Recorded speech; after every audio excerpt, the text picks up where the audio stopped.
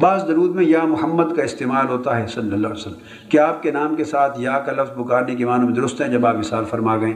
یا محمد صلی اللہ علیہ وسلم یا یا احمد صلی اللہ علیہ وسلم یا یا رسول اللہ صلی اللہ علیہ وسلم یا یا نبی اللہ یہ سب یا حبیب اللہ یہ سب کلمات جائز ہیں مصنون ہیں، چودہ سو سال سے امت میں رائج ہیں۔ یہ بھی جھگڑے اس وقت سے ہیں جب سے سعودیہ اقتدار میں آیا۔ ہے یہ سب فتنے اس صدی میں شروع ہوئے ہیں۔ اس سے پہلے نہیں تھا۔ آپ کو اگر کبھی جانے کا موقع ملے، اللہ نصیب کرے، میں آپ کو بتاتا ہوں، اس وقت بھی جعلی مبارک سعودی ہے نا اقتدار پر، جو حضور السلام کے روزہ پاک کی، اس وقت بھی جعلی مبارک اس پر بھی یا محمد، یا احمد، یا رسول اللہ کے کلمات لکھے ہوئے ہیں۔ اب انہوں نے کیا کیا؟ اس کو توڑنے کی کوشش کی۔ اس کو تو کہیں الف کو کاٹا، کہیں یہ کہ دو نقطے یا کے نقطے کاٹ دیے اور باقی یا کا پورا کا پورا الف سمیت برقرار ہے۔ ہر شخص جو جاتا ہے وہ آج بھی دیکھ سکتا ہے۔ مواد تصویروں میں بھی آپ دیکھ سکتے ہیں۔ مواد شریف کی تصویریں غور سے دیکھیں۔ یا اللہ اور یا رسول اللہ، آج بھی لکھا ہوا ہے۔ انہوں نے نقطے کاٹ دیے ہیں، باقی وہ اتنا کاٹتے تو جالی ٹوٹ جاتی، وہ نہیں توڑ سکے۔ آج بھی برکت۔ اس کا مطلب یہ ہے کہ یہ انہوں نے آ کے ایسے عقیدے میں فتنے پیدا کیے ہیں۔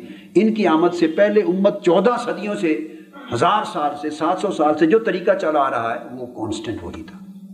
یہ پورے عالم عرب عالم عجم میں، قصیدہ بردہ شریف، پوری دنیا میں عرب و عجم میں پڑھا جاتا ہے اور یا علماء پڑھتے ہیں، یا اکرم الخل کے مالی من الوز بہی سوا کا اندہ حلول الحادث رامامی عرب دنیا کا وظیفہ ہے، حضور کو یا سے پکارنا۔ ایون جو نماز میں کہتے ہیں آپ، السلام علیہ کا النبی، اس کا ترجمہ کیا ہے؟ بولیے۔ سلام ہو آپ پر، بولیے۔ اے نبی یا عربی زبان میں یا اور ایوہا ایک ہی معنی ہے۔ عربی زبان میں بولیے یا اور ایوہا۔ اکٹھے بھی لکھ دیے جائیں تب بھی ایک معنی ہے۔ سیپریٹ لکھیں تب بھی ایک معنی ہے۔ میں آپ کو ایک علمی نقطہ سمجھا دیتا ہوں۔ اگر یہاں ہوتا بورڈ، بلیک بورڈ تو میں سمجھاتا، اب آپ کے پاس ہے نہیں۔ قاعدہ یہ ہوتا ہے، مثلا اگر آپ نے لکھنا ہو نبی اللہ، کیا؟ یہ رسول اللہ۔ رسول، لفظ رسول اللہ یا نبی اللہ، اس طرح لکھنا ہو، اللہ کا نبی، لفظ ڈبل لکھنا ہو، پھر اس کے لیے ایوہا نہیں لکھا جا سکتا، پھر یا لگے گا۔ کیا؟ چونکہ ایوہا ایوہا سے الف لام لگانی پڑتی ہے پہلے لفظ کے ساتھ، اور الف لام تب لگتی ہے اگر سنگل ورڈ ہو، اگر ڈبل ورڈ ہو، اس کو مضاف مضاف الہ کہتے ہیں، تو پھر الف لام نہیں لگتی۔ یہ گریمیٹیکل چیز ہے۔ اگر خالی نبی کا لفظ ہو، کیا؟ تو عربی میں ایوہن نبی کہیں گے۔ معنی ایک ہی ہوگا۔ کیا؟ یا نبی۔ اس کا معنی ہوگا اے نبی۔ اگر نبی اللہ کہنا ہو، پھر لکھا جائے گا یا نبی اللہ، یا رسول اللہ، یا حبیب اللہ۔ اگر یا رسول اللہ کہنا ہو، تو لکھا جائے گا یا رسول اللہ۔ اگر صرف رسول کو پکارنا ہو، لفظ رسول، لفظ اللہ ساتھ نہیں، تو یا رسول نہیں کہیں گے۔ پھر کہیں گے ایوہ الرسول۔ یا یا ایوہن رسول یہ دونوں یا ایوہن یا ایوہن رسول ایوہن نبی سب ایک ہی معنی ہے. تو نماز میں آپ پڑھتے ہیں، السلام علیکہ ایوہن نبی سلام ہو آپ پر، اے نبی. اے نبی، یہ یا ہے. تو آج تک نماز میں حضور وفات پر چودہ سو سال ہو گئے. امت کو یہ کہ یہی نماز پڑھیں. تو حضور کو آج بھی اے نبی ترجمے میں تو اے لکھا جاتا ہے نا. اے نبی، آج بھی تو جو وظیفہ اور سلام نماز میں رکھا گیا ہے، کتنا ظلم ہے کہ مسلمان اس پر اعتراض کریں اور باتیں کریں اور فتنہ کھڑا کریں کہ یا محمد، یا نبی، یا رسول نہیں کہنا چاہیے۔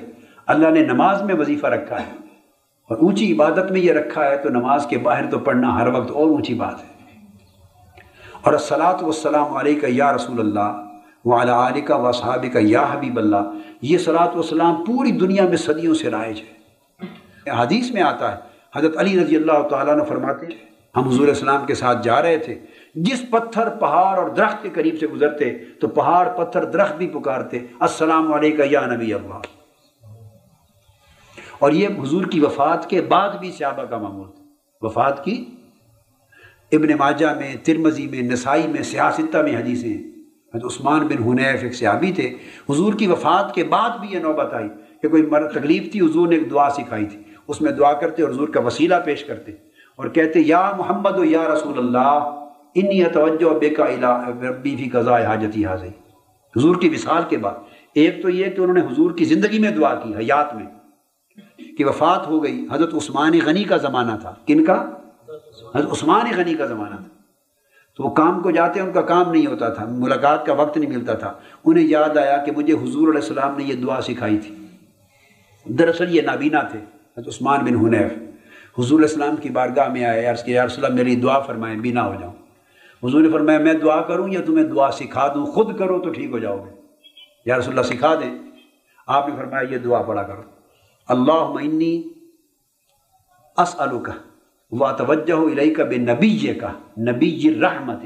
یا محمد و یا رسول اللہ، انی توجہ بے کا الا ربی فی قضاء حاجتی حاضر۔ یہ وسیلہ بھی پیش کرو، میرا وسیلہ، یہ مسئلہ بھی ساتھ واضح ہو گیا۔ میرا وسیلہ بھی پیش کرو اللہ کے حضور، اور یا محمد، یا رسول اللہ، پکار کر۔ حضرت عثمان بن حنیف ایک صحابی اور تھے، نابینا، گھر گئے۔ بہکی میں آتا ہے کہ جا کے دعا کی، وضو کیا، نفل پڑے یہ دعا کی مسلح پر۔ اور یا محمد، یا رسول اللہ کا وظیفہ پڑھ کے دعا کی۔ دعا کر کے اٹھے مسلح پر بھی نہیں لوٹ آئے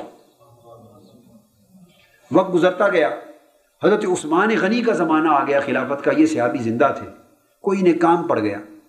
حضرت عثمان غنی کے پاس بار بار گئے، کام نہیں، وہ ملاقات نہیں ہوتی تھی۔ مصروفیات تھی پریشان ہوئے نے یاد آیا کہ میں وہی وظیفہ پھر پڑھوں۔ انہوں نے گھر آ کے نفل پڑھے اور وہی وظیفہ پھر پڑھا۔ یا محمد و یا رسول اللہ کی پکار پڑھ کے گئے، اسی دن کام ہو گیا۔